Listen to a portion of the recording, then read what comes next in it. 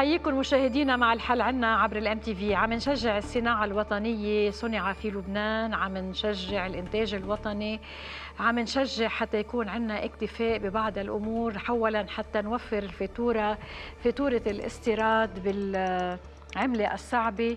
ثانيا حتى إنتاجنا الوطني اللبناني يستمر وقديش بشغل من العائلات. من هيك عم بقول للبناني اليوم مش بالضرورة باختصاصه. مرات بيقدر يمرق وقت بيقدر يلاقي الشغل يلي بيقدر يعتش منه بكرامته لحين ما تمر هالأزمة يلي نحن عايشين فيها. بالوقت يلي كمان في كتير موظفين في كتير عمال بالقطاع الخاص يمكن ما بقى معاشهم بيكفي أو ما عاد له قيمة. ولكن اليوم وجودهم هو حتى تمر هالمرحلة مع أرباب على العمل وبالتالي حتى يأمن استمرارية حتى ما يتركوا يقعد بالبيت ويصير كمان عالي على حدا. مع العلم أنه اليوم اللبناني منه شحاد اللبناني رافض الذل اللبناني منه قبلان يلي عم بيصير. ولكن اليوم بعرف وعم بشوف إنه في كثير من المصانع من المشاغل عم تطلب عمال لبنانيين لأنه العماله الأجنبية تركت معظمها ترك وبالتالي صرنا بحاجة لعمالة لبنانية. ومش عيب إنه نحن اليوم نشتغل ببلدنا حتى ننهض ببلدنا من هالظروف اللي كثير صعبة اللي عم نمر فيها. ولكن إذا تضامنا أكيد بتقطع.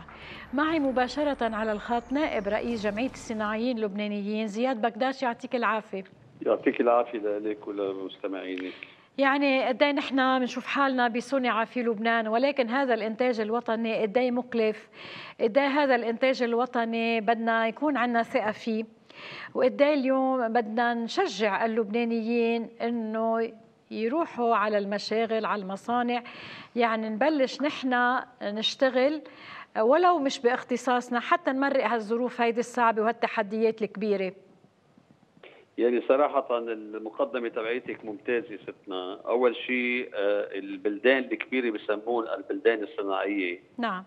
مش غلط لأنه كل العالم معروف إذا كان ما في صناعة بأي بلد معناتها ما في نمو، لأنه الصناعة هو إحنا مش بس الصناعة إذا بدك القطاعات الإنتاجية هن القطاعات الأساسية بالنمو. النمو هو سلسلة كاملة متكاملة بجميع الاقتصاد بس القطاع الإنتاجي هو من أهمه. هلأ من ناحية موضوع الثقة أنا بأكد لك إنه اليوم صار في ثقة عند المواطن اللبناني مع إنه تأخرنا إذا بدك 20 30 سنة لأنه كل عمرنا أيام زمان منا وجر يعني كان كل شيء فرنجي برنجي. اليوم من بعد تدني الفاتورة الاستيراد اضطر يمكن بعض المواطنين لأنه في بعض الآخر كانوا كل عمرهم يشتروا صناعة في لبنان. نعم. شاف إنه لا البضاعة المنتج اللبناني هو جيد جدا من النوعية وضمن المواصفات العالمية. مشان هيك نحن التصدير تبعنا اللي كان تقريبا بحدود 3 مليار ونص ما كان عندنا ولا صنف كان بيرجع. يعني معناتها نحن ضمن المواصفات العالمية. نعم. هلأ الثقه صارت موجودة. السعر صار أرخص من المستورد آه، أكيد اليوم الوضع الصناعة بازدهار زادت آه، تقريبا حسب القطاعات بحدود ال 20 30% من إنتاجنا بالاسواق المحلية لو كان القدرة الشرائية ما آه، تدنيت مثل ما هي وضعنا اليوم من وضع تدني اسعار الليرة اللبناني أكيد كان إنتاجنا ومبيعاتنا رح تكون أكبر بكثير. أكيد لازم كلياتنا نشجع الصناعه في لبنان لأنه أي معمل ما بيكون هو موجود بالسوق المحلي ما بيقدر يصدر. نحن أكيد. البداية والآخر هي اليوم السوق المحلي آه، أستاذ بكداش بتعرف قديش أهمل القطاع الصناعي وكانت كلها مبادرات فردية بالرغم من كل الظروف كانت المبادرة الفردية والإيمان بهذا البلد هو اللي كان عم بخلي الصناعي إنه يضم يستمر مع موظفينه ومع عماله. وكلنا بنعرف صحيح. اليوم مع انهيار العملة وعدم قدرة الشرائية وحتى نخفف من الاستيراد. في عمالة أجنبية تركت البلد ولكن اليوم حتى الدم عم بتدور محركاتنا. بدنا يد لبنانية. شوفي أول شيء لاكد لك إنه معظم المصانع ما بقى اليوم بعدهم ماشيين على الحد الأدنى أو المعاشات الأساسية، أنا بقول لك تقريبا زادوا المعاشات بحدود لو قالوا لهم معاشاتهم إذا مش أكثر أو في منهم عم يدفعوا بالدولار أو عم يدفعوا بالشيكات لأنه الوضع الصناعي اليوم أكيد أحسن من ما كان عليه سابقا. نعم. بس أكيد أنا بقول لك بعد زيادات المعاشات ما منا مناسبة بالنسبة للغلا اللي عم بتصير. نعم. اليوم صحيح إنه نحن اليوم مثل ما بتقولي حضرتك في تقريبا حسب ما بتقول وزارة العمل 80% من الأجانب تركوا بس نحن مش لأنه تركوا طالبين نحن عماله لبنانية لا نعم. نحن من يوم يومنا بنفضل العامل اللبناني لسبب أساسي إنه بنعلمه المهني بس نعم. للأسف إنه في عندك مشكلة ببعض المناطق بعدم وجود العمال اللبنانيين وخصوصا في كثير عمال لبنانيين بيجوا من الشمال وخصوصا من عكار الله يعينهم بيمشوا على بكرة ثلاث ساعات على بكرة بالسيارة ليوصلوا ثلاث ساعات ليرجعوا وهلا مع انقطاع البنزين مش انقطاع مع هلا عم بدبروا حالهم بس ال... نحن اجتمعنا مع الاتحاد العمالي العام وقلنا لهم من الضروري اليوم مثل ما عم تحكي حضرتك نغير الثقافة عند العامل اللبناني، العامل اللبناني مشكلته ما بحب ينام برات بيته. نعم. نحن اليوم كصناعة عم نشتغل ال overtime وتشتغل ال overtime بتحكي 16 ساعة وفي مصانع بيشتغلوا 24 على 24 نعم. ضروري يكون عندنا عمال. كنا عم نستعين بالعامل الأجنبي لأنه عامل الاجنبي كان ينام. معظم المصانع مأمنين آه، محلات ليناموا العمال اللبنانيين وغير اللبنانيين وخصوصا يعني معلاه إستاذ بكداش بالكوفيد في كثير من المصانع والشركات يلي عندها التزامات اضطرت إنه تنيم موظفين وعمالها عندها بسبب الكوفيد وتحجرهم. صحيح. يعني حتى تحافظ على سلامتهم وإكمال طبعا الإنتاج. صحيح. بس للأسف أنا بقول لك بعد لهلأ الثقافة ما صارت مثل ما لازم إنه يبلش العامل يقرر إنه ينام برات المعمل. يعني اليوم إذا بينام عفوا بالمعمل إذا بينام اليوم الموظف أو العامل بقلب المصنع أول شيء بيكون أريح له جسديا لأنه عم بيمشي ساعتين ليوصل لأنه بتعرفي اليوم الوضع السير عندنا بلبنان. نعم. اثنين بصير يقدر يشتغل overtime يعني معناتها بدوبل معاشه أو triple معاشه آه، بالنسبة لل overtime هيدي كلها لمصلحة العامل والصاحب العمل يلي عم بيناموا بالمعامل أو المصانع مأمن لهم مثلا وجبة غذائية يعني في يعني في لا ما نعم. مأمن لهم وجبه وجبة غذائية لأنه عندهم كل كل كم شخص بكون في عندهم مطبخ بس مأمن لهم المكيف ومأمن لهم النوم بطريقة decent يعني مش كيف ما كان يعني نعم. بس بقول لك يا أخي أنا بحب نام هيدي المشكلة يعني, يعني بيوفر بيوفر بنزين بيوفر يعني كمان تعب وإرهاق على الطريق وبيطلع overtime طبيعي وبيطلع overtime على كل حال إذا جاب زوادته على جمعة يعني إذا ما بعرف قد إيه بيشتغل بالأسبوع ست أيام أو سبعة أيام بفتكر لا بيشتغل ست أيام ست أيام أو خمس أيام. على بيته. نعم. يعني كمان هيدي ثقافة مفروض إنه نحن آه نقدر كمان نشتغل عليها. بعدين بحب أنا أكد من عندك كمان ستنا إنه اليوم صار في آه، بعض الشركات الأجنبية نعم. لأنه صار الغلا كثير بالنسبة للاستيراد صار عم بيصنعوا بالمعامل اللبنانيه هيدي شغلة كثير منيحه، كمان نعم. في عندك المصانع اللي كانت بزمانها مسكرة اللي هي الثياب والأحذية رجعت فتحت أكيد ورجعوا جابوا عمالهم ورجعوا بلشوا يصدروا هيدي كلها بادرة خير نتمنى إنه موضوع الدولار أو موضوع العملة إنه يتحسن وضعها بالإضافة لموضوع الحكومة لأنه أنا بقول لك الصناعة بخير إن شاء الله. إذا كان الوضع السياسي بلبنان ووضع المالي ووضع الدولار تحسن بقول لك أكيد في في أمل كثير كبير مع الصناعة وخصوصا القطاعات الإنتاجية.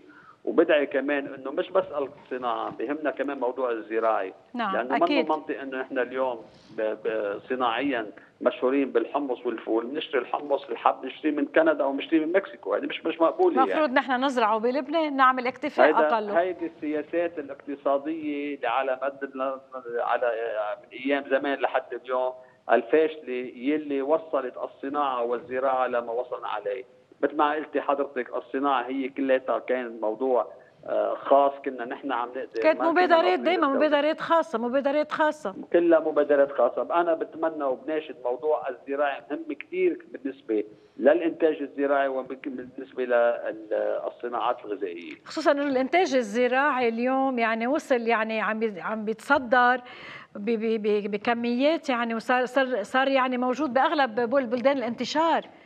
أنت اللي عم تحكي كثير مزبوط بس ما المشكلة بهالبلد إنه بتكوني أنت بتحلي مشكلة بيطلع لك مشكلة مشكلة ثانية مزبوط. اليوم المشكلة الثانية هي موضوع قصة الخليج والسعودية صحيح. المملكة العربية السعودية. لأنه في كثير كونتينرات بعدها كانت واقفة وما قدرت فاتت مخللات وغيره. هلأ في قرار في قرار غير رسمي إنه يمنع كل الصادرات الصناعية زراعية وغير زراعية إلى المملكة العربية السعودية.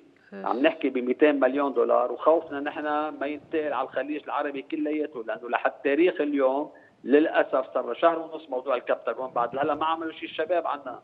ما فرقاني معهم هيتون. وحتى وحتى كان في مليار دولار للخليج العربي ما بصير يروحوا هيك. حتى كان في كونتينرات وصلت بس ما تفرغت لأنه طلع صحيح القرار. صحيح صحيح. وهيدي هيدي كانت كلها خسارة بخسارة يعني لأنه هيدي شركات ملتزمة يعني هي رايحة على اسم شركات. ومدفوع حقها بالسعودية عم عم يمضوا المستوردين تعهد إنه ما يستوردوا من لبنان.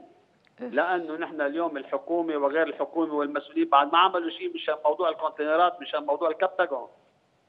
نعم. ما حدا فرقاني معه.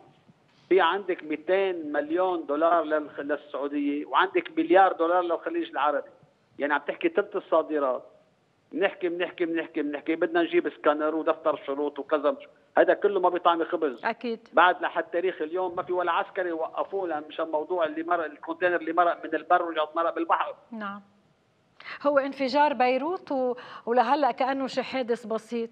يعني للأسف الشديد.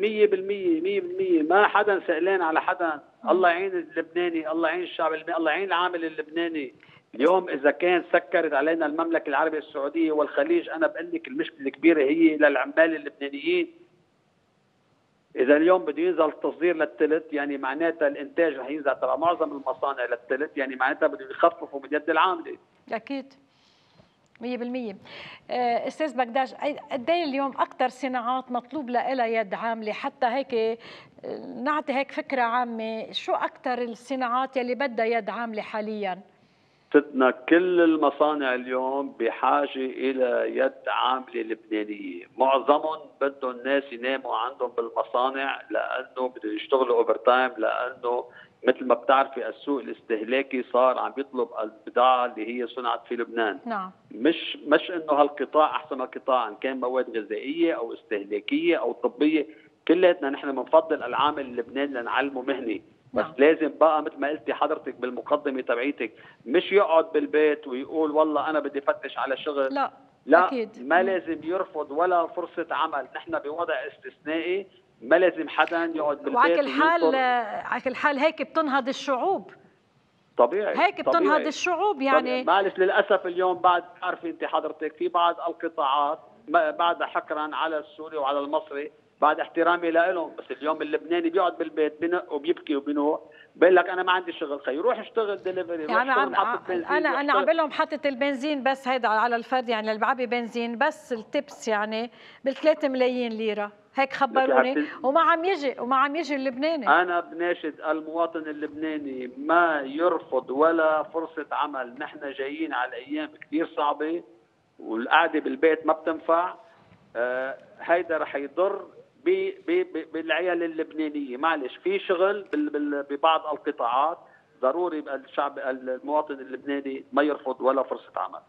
يعني أنا حبيت اليوم ضوي مع حضرتك حتى شجع اللبناني يعني الشعوب ما بتنهض بالأزمات إلا بسواعد أبنائها وبإيمانهم بقطاعات آه، يعني إن كان قطاع الصناعة ولا قطاع الزراعة اللي أهملوا مش من المزارعين ولا من الصناعيين إنما من الدولة اللبنانية اللي ما عطتهم الدعم الكافي اللي وصلنا لوصلنا وصلنا نقول اليوم أبسط الأمور ما بتتصنع بلبنان وشايفين شو عم بيصير بالمستشفيات وشو عم بيصير بكثير من الأمور. مسو بكداش أنا بدي أشكرك وبالتالي بتمنى اللبناني يعيد النظر بهذا الموضوع. عندنا فاصل ومنتابع.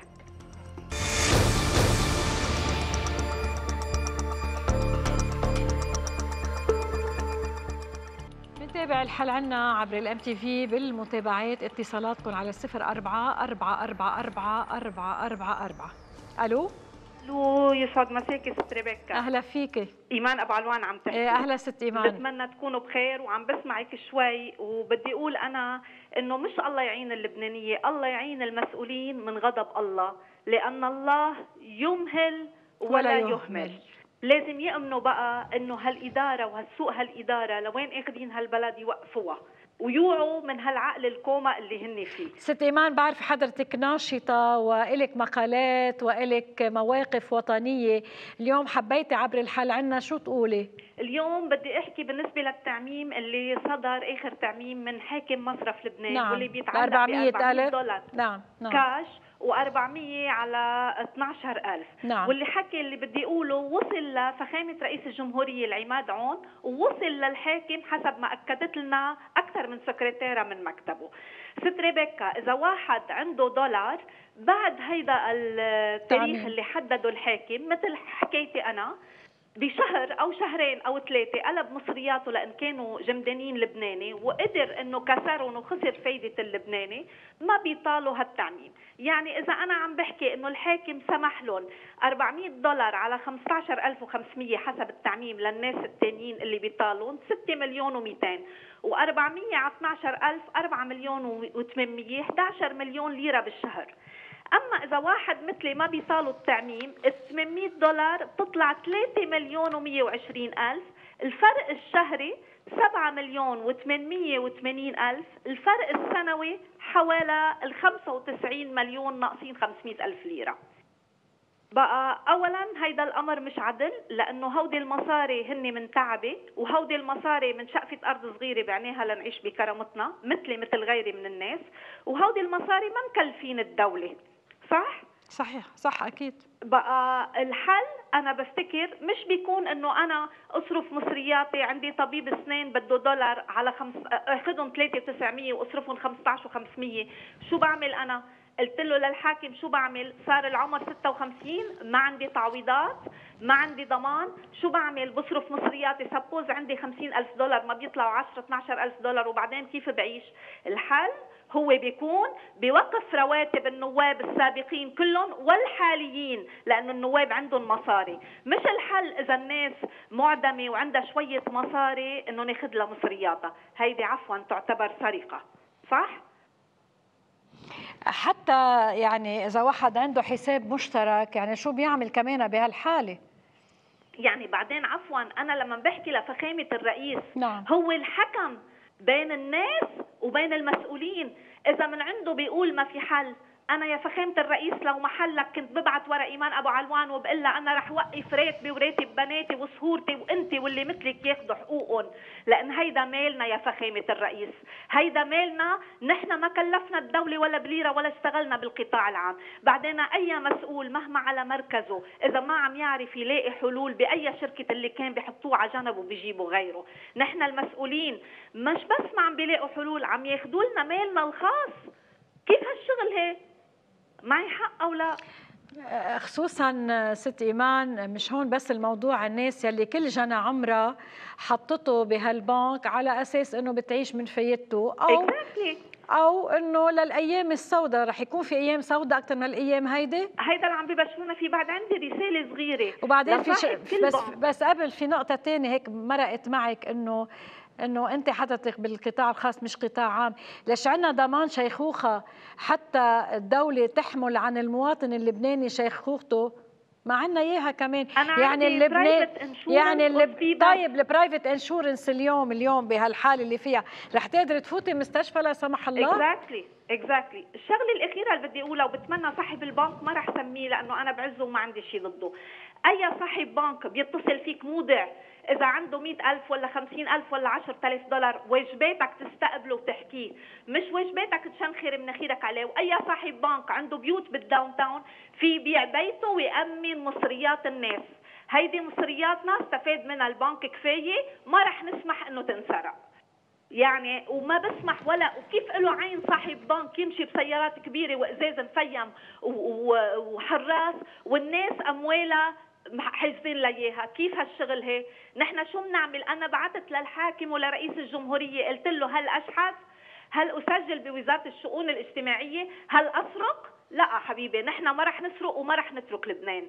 نحن رح نضل بلبنان ونضل رافعين راس كل مواطن بهذا البلد. وما رح نقبل لحقوقنا ولحقوق المواطنين إنه تروح بإذن الله. على كل حال يعني وزارة الشؤون الاجتماعية ببرنامج الاكثر فقرا ما, ما عدنا نعرف مين عم تعطي ومين ما عم تعطي.